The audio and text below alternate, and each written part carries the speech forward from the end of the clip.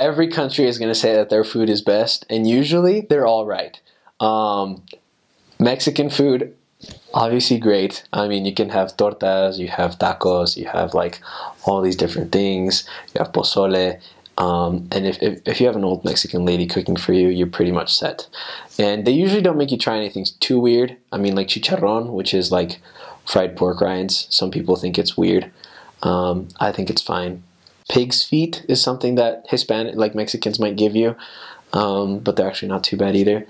But just Hispanic, Mexico has really great food. Um, Peruvians, lomo saltado. It's like this. It's this beef.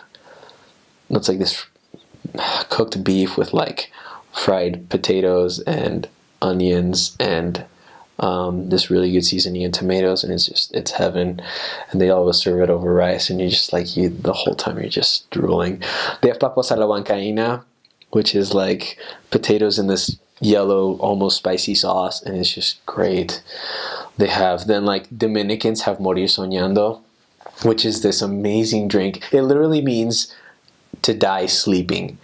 It's this, this it's so good. It's like milk and orange juice.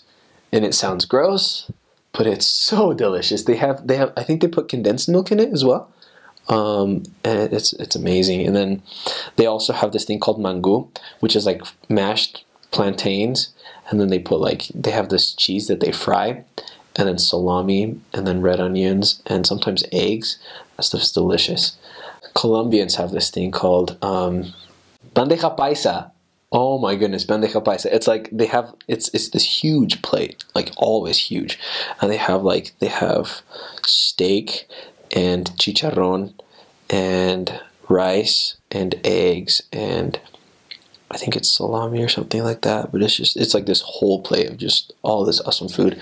And they always have tostones. Tostones are something you're going to come in contact with a lot in New Jersey because it's like it's this fried plantain, and they have it everywhere from like Colombia to Dominican Republic. You're just going to see it a lot. You're going to eat a lot of yuca, um, which is this other kind of thing that they replace potatoes with in some places. Um, Peruvians like potatoes a lot people from Ecuador make really good food. There's this there's this cool thing.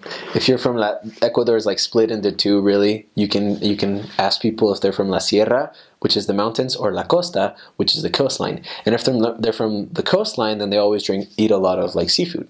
So they make really good shrimp. They make the best fried fish you've ever had in your life. Um, they make really good um, I even had a lady make a spaghetti with shrimp and it was delicious. And that was in Newark. Oh, I love those people. And then if they're from La Sierra, then um, they usually eat like a lot of um, a lot of this thing called cuy.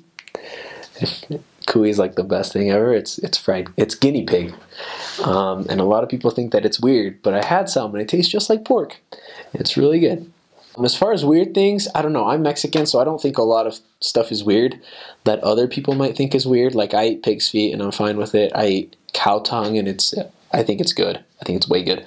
I think the weirdest thing that I ever had to eat was this this lady. Her name was Hermana Esquivel. She was in Dover. She gave us these. It was like this little jar of like these weird. I don't know if it was worms that they used to like they put them in they put them in like their drinks. They put them in like sugar water and i guess it like ferments the water and they make alcohol with it or something. Um, but it was these little like worms and they were just like squirming around in the water. They're like about this big. And she's just like yeah well, there's yeah you can eat them too. And i was like really? And she's like yeah sure. And she like grabbed the spoon and like gave us these little worms and they're squirming around. I'm like okay. And so i ate them and they were like super bitter like really bitter and so i swallowed but I didn't feel too great about it. I was like these because they're just like these tiny little worms that they gave you. But other than that, I mostly I just enjoyed myself. There's so much good food, and if you get if you have Filipinos feed you, you're having a good day.